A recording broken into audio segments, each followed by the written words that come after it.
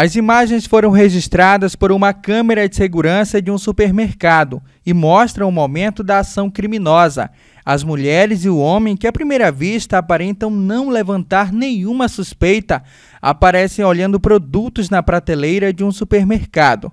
Já nesse outro vídeo, mostra as mulheres colocando os objetos dentro dos vestidos e também nas bolsas. São vários produtos furtados. O homem também usa uma bolsa grande e coloca os produtos dentro. Cinco pacotes grandes de leite em pó, diversos produtos para cabelo, goma de mascar, desodorantes, roupas, além das bolsas, tudo foi apreendido.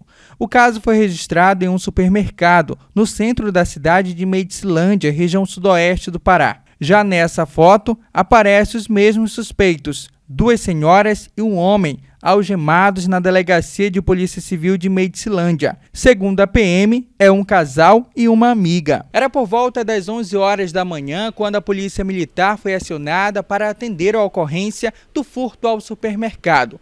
Com as imagens das câmeras de segurança e as características dos suspeitos, os policiais conseguiram encontrar o trio ainda nas proximidades. Mas o que chama a atenção é como que os criminosos conseguiram passar com tantos produtos pelo caixa do supermercado, sem que ninguém percebesse. O supermercado dessa comerciante, que prefere não ser identificada, também foi alvo de uma criminosa, na mesma faixa etária de idade e usando a mesma estratégia.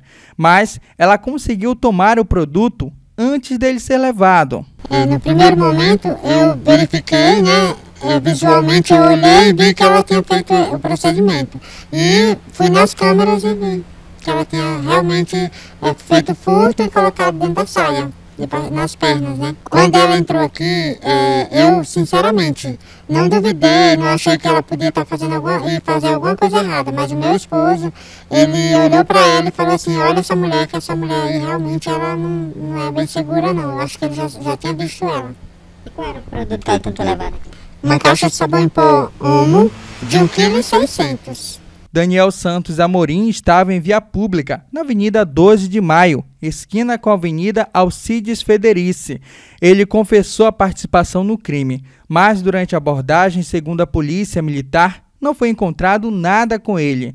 Daniel então apontou as mulheres e levou os policiais até onde elas estavam.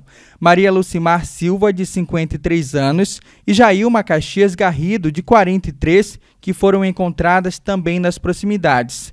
As suspeitas confessaram a participação no furto e ainda afirmaram que haviam chegado na cidade no mesmo dia e que venderiam os produtos furtados em outra cidade. As suspeitas também afirmaram que já haviam cometido alguns furtos na cidade de Altamira, no sudoeste do estado. Presos em flagrantes, os suspeitos foram encaminhados para a Delegacia de Polícia Civil de Medicilândia e devem responder pelo crime de furto, com pena de reclusão que pode variar de 1 a 4 anos, além de pagamento de multa, de acordo com o Código Penal.